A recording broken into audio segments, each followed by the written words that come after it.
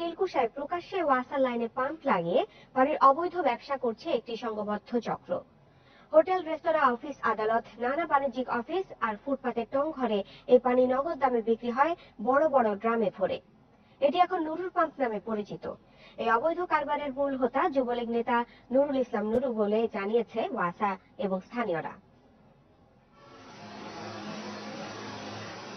এটি কোনো সেচ প্রকল্পে পানি দেওয়ার দৃশ্য নয়। ওয়াসার পানি চুরির হিরিক তাও একদিন দুদিন নয়, মাসের পর মাস, বছরের পর বছর। সারি সারি ড্রাম ভর্তি পানি যাচ্ছে নুরুর পাম্প থেকে। তাও আবার দিনের বেলায়। খোদ দিলকোষা বাণিজ্যিক এলাকার মতো জনবহুল স্থানে। কিন্তু কারও টুশব্দ করার জো নেই। কারণ পানি যারা বিক্রি করছে, তারা এলাকার মাস্তান।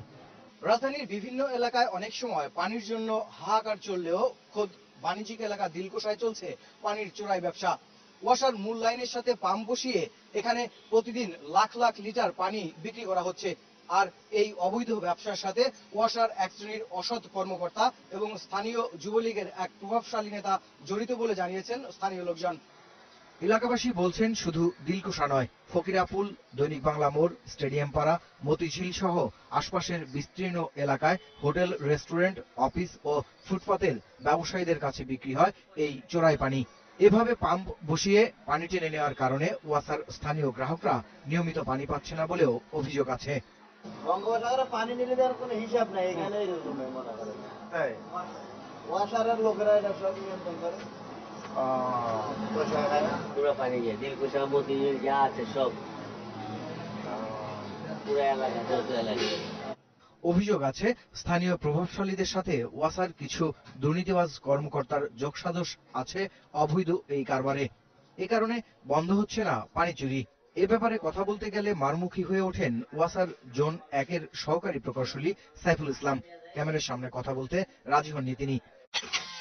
আপনি ক্যামেরা নামাইতে বসছি আমি। কিন্তু ক্যামেরাটাকে নামাইতেই হবে।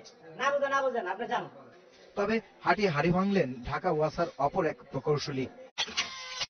প্রভাবশালী আওয়ামী লীগের একজন নেতা আর কি সে বহুদিন যাবৎ তার নাম নুরু নুরুর পাম বলে খ্যাত। র্যান্ডাম পানি ভ্যানে ভরে বেচতেছে হ্যাঁ এটা তো তাকে অ- অ- তাকে অধিকার দেয়নি মানে তাকে অনুমতি দেয়নি।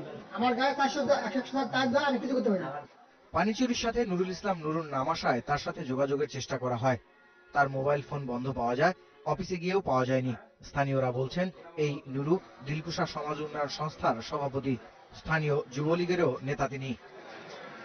জানতে চাইলে ঢাকা ওয়াসার উপপ্রধান রাজস্ব কর্মকর্তা তানবির আহমেদ সিদ্দিকী এ ব্যাপারে ব্যবস্থা নেওয়ার কথা বলেন। তবে ক্যামেরার সামনে কথা বলতে রাজি হননি তিনি।